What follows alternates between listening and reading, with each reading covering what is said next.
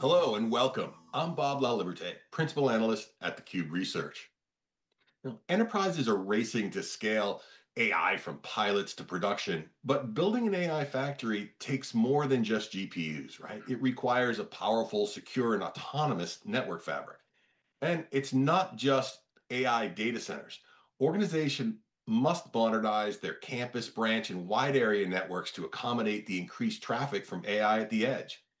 In addition, AI technology will also play a significant role in managing these complex environments. And at the Cube Research Networking for AI Summit, you'll hear from HPE networking experts about their robust infrastructure solutions, AI native innovations like Mist, Apstra, and Central, and the role they play in simplifying operations, keeping GPUs fully utilized, and accelerating the journey to self-driving networks. Now, to give us a little bit more detail on what to expect, Jeff Aaron, the VP of Product Marketing of HPE Networking, is joining me today. Welcome, Jeff. Yep, great to be here, Bob. Yeah, so good to have you on. Looking forward to the event and everyone you've got coming on. But let's jump into it. You know, as I mentioned, you're at HPE now. The conversation naturally leads to AI factories. However, as I mentioned, AI factories require more than GPUs. The network fabric is really critical. So can you maybe share a little bit about what attendees are going to learn about the differences between, say, networking and AI factories and those traditional enterprise data centers and how HPE networking is helping them get there? Yeah, great question, Bob. I mean, so for starters, one of the reasons why it's so exciting to be part of HPE is it brings the whole AI, you know, story together, right? There's the compute and the storage in addition to the networking, right? And so obviously on the networking side, what's what's super interesting is these new AI workloads or, or AI data centers, it adds much more of a, an east-west element to you know traffic patterns, and they're even more uh, you know reliant on low latency and, and high performance, right? Um, so uh, that's number one, right? So how do you scale the network? How do you give performance? How do you leverage new technologies like late 800 gig? Also, what we're seeing is like AI workloads, it's more distributed, right? It's not just within the data center. You know, there's inter data center as well as even pushing, you know, inferencing and other stuff to the edge, right? So it's not even just about switching, it's also about routing, right? So you got the switching, you got the routing, you got the ops, and then as well as there's even new security uh, requirements now associated with AI data centers to protect the workloads and LLMs. So that's what you're going to hear about here. How do you bring that whole package together, both from networking as well as even broader to the whole HPE story to really support your AI factory needs? Yeah. And another component of this is that people are building out their AI environments. Um, it's it's obviously driving a lot of complexity. It's a highly distributed environment, but your yourself and your organization is use the analogy of self-driving cars to describe the stages of of network AI and automation. And I'm wondering if you could again touch upon that and what attendees might hear from HPE networking on this subject.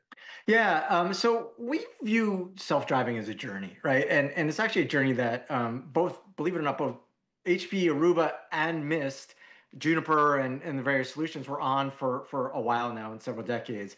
You know, it starts all the way back to just collecting the right data, to then you know figuring out what to do with that data in terms of you know networking speak and then ultimately going to an environment where it's proactive actions and even autonomous to really you know drive more efficiencies.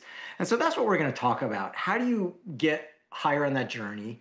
How do you leverage things that have been in place for a while like you know conversational interfaces and and uh, you know proactive actions as well as newer things like agentic ai how do you bring all that together in a real fashion where you can actually drive um, you know drive these products forward and get the most value out of out of uh, you know automation in your network I think that's great. And I'm, I'm also hoping, do you think that you're going to be able to share some of the examples of organizations who have adopted this technology and maybe share some of the benefits that they've achieved as a result of having it in place as well? Oh, for sure. Yeah. I mean, technology is great, but uh, if you don't talk about outcomes, then, you know, what's, what's the real value for that? And um, when we kind of point to some of those outcomes, it could be anywhere from, you know, fewer trouble tickets to just faster deployment to uh, you know just lower opex costs to just you know less troubleshooting errors right? Less fat finger and configuration errors all of which are extraordinarily value in, in all environments but especially in ai data centers. So yeah absolutely. We'll talk to some of those um, some of those outcomes that, that our customers and our partners are seeing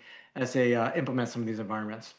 Yeah i think that's going to be great. I know in the research that we've done all the organizations who have adopted the ai ops technologies have all said the same thing when they initially get it. It's all about finding and fixing problems faster.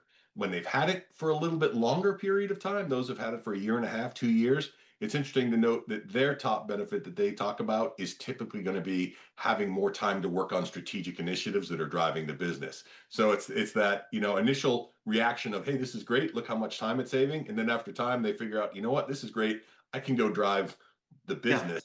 Right for, more for sure especially when you're talking about something like AI data centers right I mean you're deploying an AI data center for a very specific reason is probably to drive some sort of business outcome there so how do you enable that outcome is is certainly important um, to to understand. Yeah. So we started off talking about the fact that you're now part of HPE. Um, wondering, and, and you touched upon some of the benefits there, but how does the combination of the organizations now accelerate that journey to AI native self-driving network? And what should Summit attendees expect to learn about the future proofing of their networks for AI factories now that you've got the combined entity? Yeah, another great story. So, you know, it's it's very cliche, but you know, HP plus Juniper we view, we view as more than a one plus one equals two type of environment. Um, when we kind of look at the two different environments, there's AI for networks and networks for AI. There's actually a, a advantages both, like an accelerant in each area, right? On AI for networks, you got like you know some of the best agentic technology, the largest data lake, some of the most advanced AI you know, um, data sources, a comprehensive portfolio, all coming together to just enable you to make better decisions um, and, and better outcomes, right? When you talk about networking for AI, you know, now you're talking about some of the best hardware coming together with some of the best um, software. You got the GreenLake platform that comes in. You got compute, storage, and networking coming together. You got more engineering resources and more support resources, right? So this is really super exciting. If you can't tell my voice, that after this long slog with the DOJ, you know, we're here we're, we're now one solution and trying to figure out how we bring this all together um, for end users. And we're just starting to actually see some of those things come to fruition. And uh, we're, we're so excited to talk about them. So, so um, yeah, we, we can't wait. Well, that's fantastic. Congratulations again on the acquisition finally going through. Everyone was waiting for that for a long time. And Jeff, again, thank you so much for joining me. I know I'm looking forward to hearing uh, what all the other HPE networking experts have to say next week, and uh, really looking forward to uh, being able to share that with everyone. Awesome. Thanks for having me, Bob. You got it. So, the future of AI depends on the success of the network, and HPE Networking is working diligently to help enterprises accelerate that journey. So, don't miss this opportunity to hear directly from HPE networking experts about how they're enabling AI ready, self driving networks that deliver real business outcomes. Register today for the Networking for AI Summit and be part of the conversation shaping the next generation of enterprise infrastructure.